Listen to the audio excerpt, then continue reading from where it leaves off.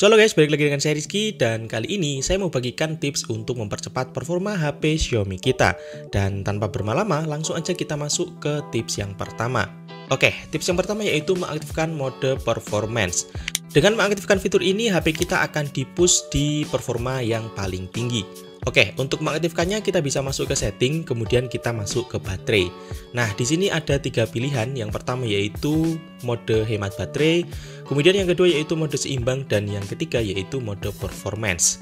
Nah, setelah diaktifkan di sini baterai kita akan berubah menjadi biru guys dan untuk performa HP kita udah dalam mode yang paling tinggi. Tapi perlu diingat dengan mengaktifkan mode performance ini akan meningkatkan konsumsi daya dan ini bisa membuat HP lebih panas juga.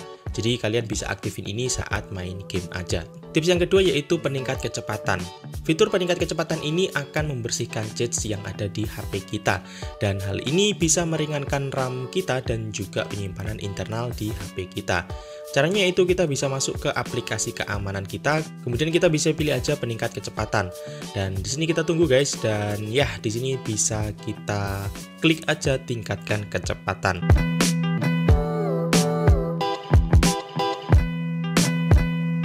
Tips berikutnya yaitu mengatur refresh rate ke yang paling tinggi. Nah, refresh rate tinggi akan mempengaruhi kecepatan layar di HP kita dalam menampilkan grafis dan juga respon sentuhan. Jadi, dengan refresh rate yang paling tinggi, di sini bisa bikin game kita makin mulus, guys. Caranya itu kita bisa masuk ke setting, kemudian kita bisa masuk ke tampilan, dan kita masuk aja ke refresh rate ya. Di sini kita setting ke yang paling tinggi punya saya ini bisa 120 Hz. Berikutnya yaitu mematikan mulai otomatis pada aplikasi yang jarang digunakan. Settingan ini dapat meringankan beban RAM di HP kita guys. Oke, caranya yaitu kita bisa masuk ke setting HP kita, kemudian kita bisa masuk ke aplikasi. Kemudian kita masuk ke perizinan dan di sini kita pilih mulai otomatis. Dan di sini ada beberapa aplikasi aja yang saya setting untuk mulai otomatis.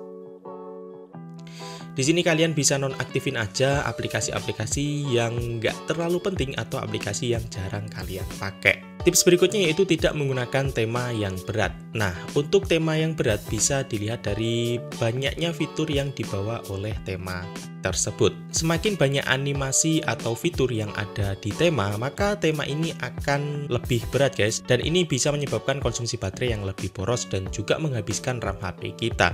Sehingga performa HP kita akan bisa lebih lambat. Jadi kita pakai tema yang ringan-ringan aja. Berikutnya yaitu mematikan akses lokasi pada aplikasi yang tidak penting. Nah guys, biasanya pada saat kita menginstal aplikasi, kita akan dimintain permission lokasi. Dan biasanya kita klik OK-OK aja. Nah, dengan kita memberikan akses lokasi ini, maka secara berkala aplikasi akan mengupdate lokasi kita dan ini akan memakan RAM HP yang lumayan gede. Oke, caranya kita bisa masuk ke setting, kemudian kita masuk ke aplikasi dan kita masuk ke perizinan. Oke, di sini kita cari aja untuk lokasi. Dan di sini kita bisa mengatur guys aplikasi apa aja yang kita izinkan untuk akses lokasi dan aplikasi yang tidak kita izinkan. Di sini kalian bisa menonaktifkan ya izin untuk aplikasi-aplikasi yang nggak terlalu penting buat kalian agar tidak memakan banyak RAM di HP kita.